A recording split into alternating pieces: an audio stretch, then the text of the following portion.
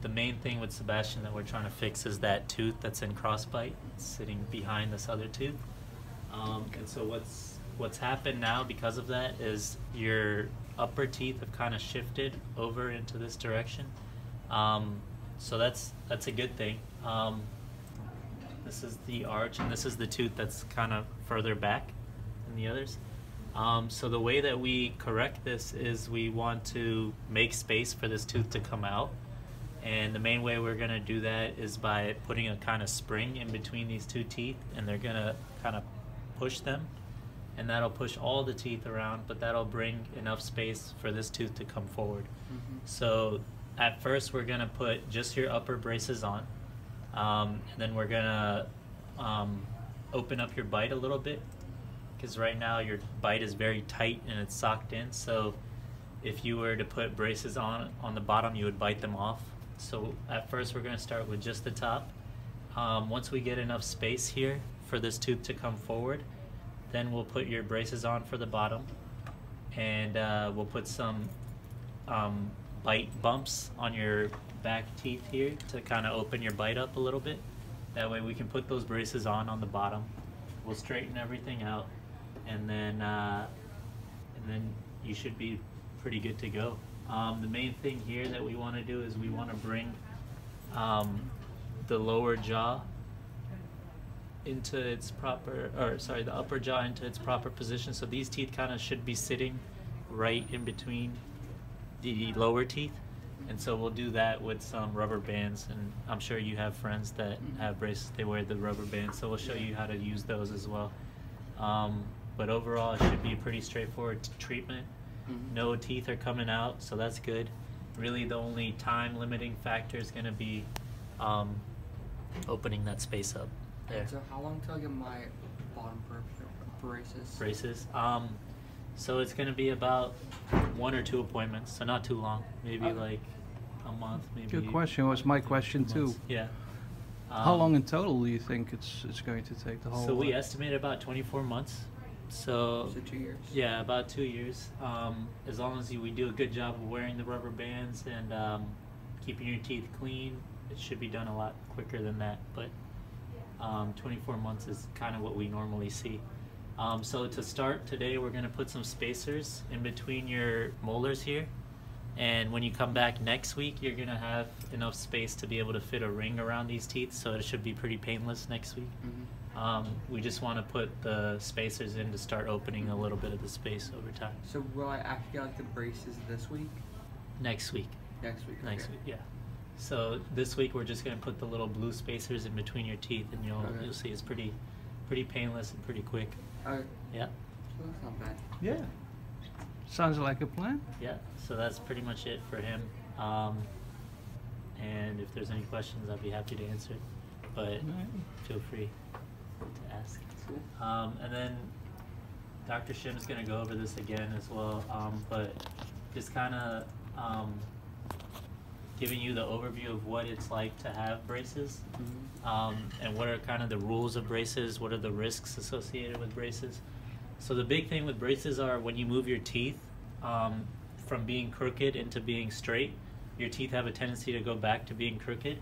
So here you've got um, crowded teeth, and we straightened out the guy's teeth, but he didn't wear his retainer, and because of that, his teeth went back to the way they used to be.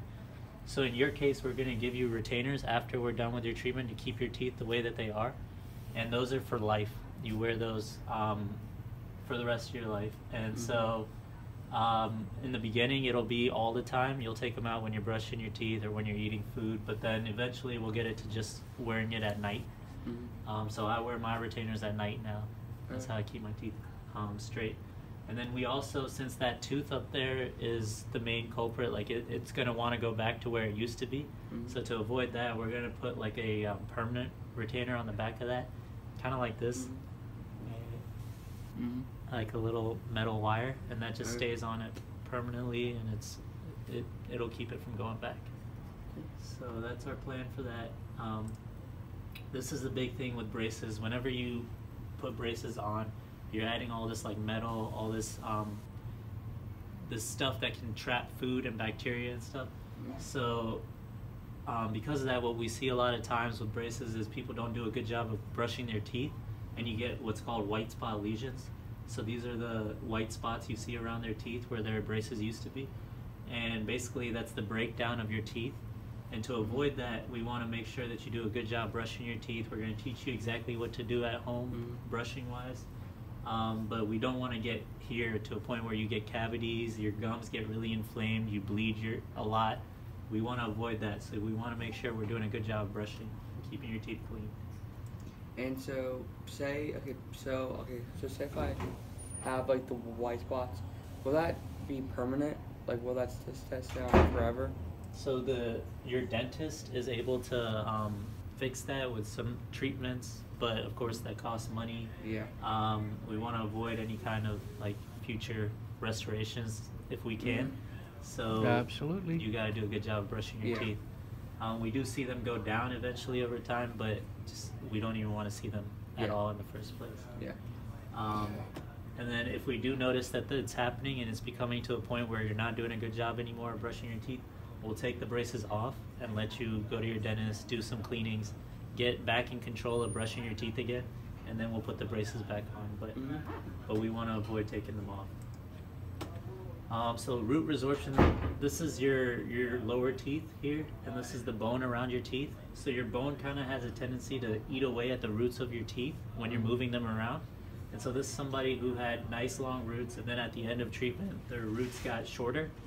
So there's nothing really that you can do to avoid that. We're gonna watch that, monitor it by taking X-rays. If it gets to the point where it's all the way up here and your teeth are starting to flop around, we're gonna take your braces off and let it heal. Your teeth will heal, and once it's all healed up, then we can put the braces back on. But it's something we want to avoid, so just something to be aware of that, you, that might happen to you. Um, this is something you see with older patients, so I'm not too worried about you. But um, whenever you're moving teeth around, your bone will stay in kind of the level that it's at, and you'll see a lot of these like black triangles open up. Um, it doesn't look too good. It's kind of unesthetic. It makes you look a little older. Um, but your dentist and ourselves will work to make sure that we reduce that. And in your case, I don't see it being a big issue at all. Okay. And then finally, we're going to try our best to get 100% of the results that we can get. Um, but, but there may be a time where we have to reach a compromise, like this isn't working out the way we want it to. But if you're happy with the teeth and we're happy with the teeth, then we're, we're going to be happy with the treatment. So there's a chance we might not get 100% of the ideal results, but we'll, we'll try our best to get there. Um, so those are kind of the, the risks associated with it. So Dad, I'm just going to have you sign off on understanding what we're um, doing.